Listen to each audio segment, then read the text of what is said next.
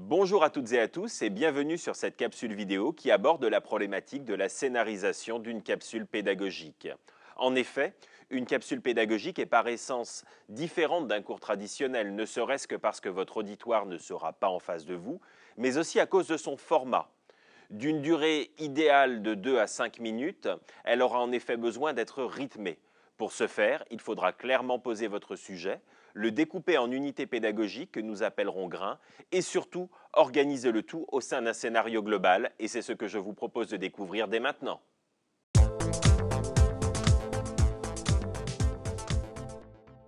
Pour que votre capsule soit réussie, il vous faudra dans un premier temps poser clairement votre sujet et surtout vous y tenir. Ensuite, on veillera à bien mener une réflexion pédagogique approfondie sur les contenus granulaires qui la composeront, leur pertinence et surtout leur ordre.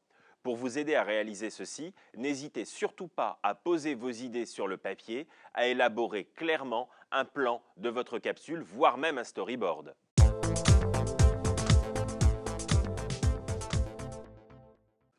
Votre fil conducteur sera la colonne vertébrale de votre capsule, mais pour qu'il soit réussi, il vous faudra le penser en termes d'image et non de texte.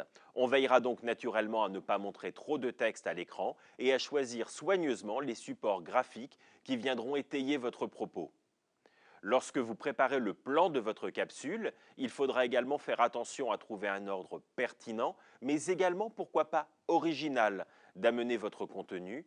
Ceci dynamisera votre capsule.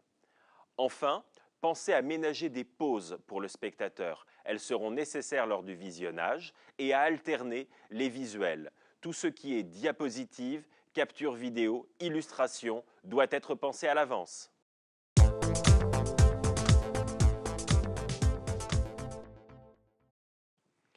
Il existe plusieurs moyens de dynamiser votre capsule vidéo. Un moyen facile et toujours efficace consiste à alterner ou superposer, comme je le fais ici, plusieurs types de plans, tels que illustration, capture d'écran ou incrustation vidéo. Pour vous aider à organiser tout cela, n'hésitez pas à réaliser un petit storyboard. Pas besoin d'être Michel-Ange pour le faire, mais juste poser dans des cases le rendu graphique que l'on souhaite obtenir.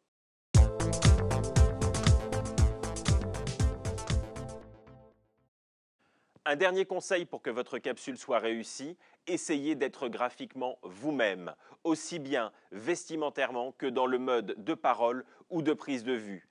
N'hésitez pas à aller regarder plusieurs vidéos en ligne et à vous en inspirer, voire même pourquoi pas à jouer avec les clichés du youtubeur.